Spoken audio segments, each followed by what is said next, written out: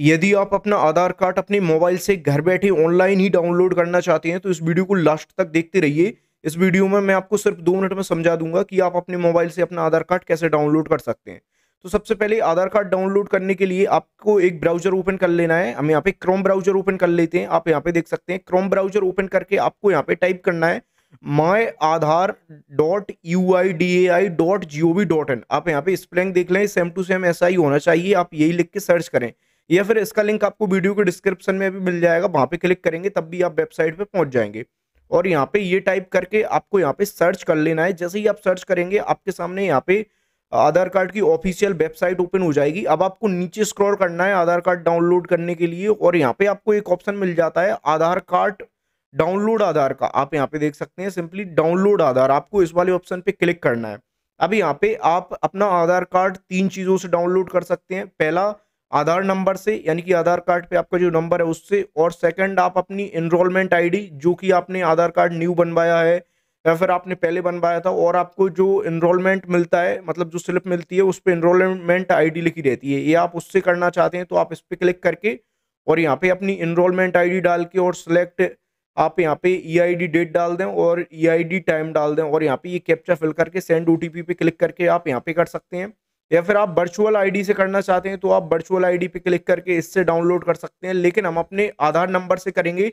आधार card का जो number होता है, उससे डाउनलोड करेंगे। तो फ़र्स्ट में आधार नंबर डालेंगे और सेकंड नंबर पे यहाँ पे इंटर कैप्चा की जगह पे आपको ये जो कैप्चा देख रहे हैं आप साइड में नाइन एट ए ऐसा करके ये सेम टू सेम कैप्चा आपको यहाँ पे फिल करना है।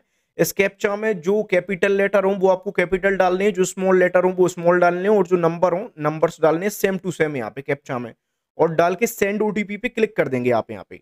अब आपके आधार कार्ड से जो मोबाइल नंबर लिंक है, उस मोबाइल नंबर पे ओटीपी गया होगा तो वो ओटीपी आपको यहाँ पे इंटर ओटीपी की जगह पे डाल देना है, जैसे कि हमने यहाँ पे हमारा छह का ओटीपी डाल दिया है, जो कि हमारे लिंक मोबाइल नंबर पे गया था, आधार कार्ड से लिंक मोबाइल नंबर पे। और यहाँ पे आप एक ऑप्शन देख सकते हैं do you want a masked Aadhaar? आपको इस वाले ऑप्शन को यहाँ पे ऐसा ही छोड़ देना है, आपको इस पे इस टाइप से क्लिक नहीं करना है। आप इस पर क्लिक कर देंगे तो आपको यहाँ पे आधार कार्ड में नंबर नहीं दिखेंगे। बिना नंबर्स का आधार कार्ड डाउनलोड होगा यहाँ पे। वो नंबर्स पे क्रॉस लगा होगा, वो बिलर नंबर्स वाला आधार कार्ड डाउनलोड हो जाएगा। आपको इस ऑप्शन को ऐसा ही छोड़ना है सिंपली इस पर क्लिक नहीं करना है राइट आप यदि क्लिक कर देंगे तो फिर वो बिना नंबर्स का आधार कार्ड डाउनलोड होगा। ऐसे ही छोड़ के और यहाँ पे ओटीपी फिल करके हम यहाँ पे वेरीफाई एंड डाउनलोड पे क्लिक कर देते हैं सिंपली जैसे ही क्लिक कर देंगे यहाँ पे हमारा आधार कार्ड डाउनलोड हो जाएगा। यहाँ पे आप देख सकते हैं congratulation your Aadhaar card has been successfully downloaded ये डाउनलोड होके हमारे डाउनलोड वाले सेक्शन में चला जाएगा, लेकिन उस पर एक पासवर्ड लगा होगा। अब वो पासवर्ड क्या होगा, मैं आपको अभी बताऊँगा। अब पासवर्ड क्या होगा, जैसे कि आपका नाम है, जैसे यहाँ पे एक उदाहरण भी दिया हुआ है, जैसे कि आपका नाम अनीस है तो यहाँ पे आपके नाम के आगे के चार अक्षर राइट जैसे ए एन आई एस ऐसे हैं। ऐसे चार अक्षर आगे के कैपिटल लेटर्स में डालना है आपको और आपको पीछे आपकी वर्थ ईयर डालनी है। जैसे आपकी वर्थ ईयर उन्नीस है या दो हज़ार है, आपको ऐसी डालनी है, बिना स्पेस दे, आगे के आपके नाम के चार अक्षर कैपिटल में, राइट? और पीछे आपकी, आपको बर्थ ईयर डालनी है और आपका वो ओपन हो जाएगा आधार कार्ड जो कि पासवर्ड प्रोटेक्टेड रहता है। अब मैं यहाँ पे आपको दिखाता हूँ हम यहाँ पे जाते हैं हमारे डाउनलोड के सेक्शन में। अभी यहाँ पे ऊपर साइड में हम थ्री डॉट पे क्लिक करते हैं और थ्री डॉट पे क्लिक करेंगे और यहाँ पे डाउनलोड का ये जो सेक्शन देख सकते हैं, इस पे क्लिक करेंगे हम जैसे ही। तो हमारा ये फ़र्स्ट में आधार कार्ड पीडीएफ फॉर्मेट में डाउनलोड हुआ है, ये हमारे सामने आ जाएगा। अब हम इस पे क्लिक करेंगे।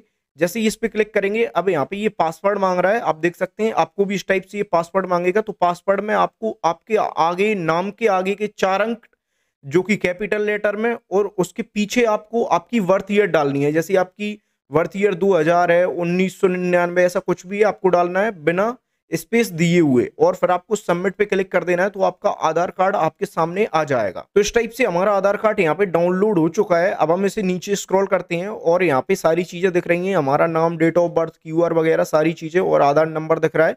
सेम टू सेम ये हमारे आधार के जैसा रहता है। अब यहाँ पे आप इसे प्रिंट करके या फिर आप क्रॉप करके इसे यूज़ कर सकते हैं, जहाँ पर आप इसे यूज़ करना चाहते हैं राइट और ये मैं आपको एक चीज़ बता दूँ, आपका ये जो ओरिजिनल आधार कार्ड रहता है, जो आपको बाय पोस्ट आता है पीबीसी आधार कार्ड उससे थोड़ा ये डिफरेंट रहता है।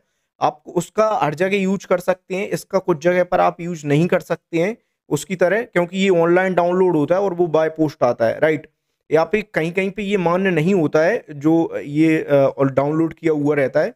तो आप देख लें अपने हिसाब से, यदि इस वीडियो से आपकी कुछ हेल्प हुई तो वीडियो को लाइक करें। Thanks for watching video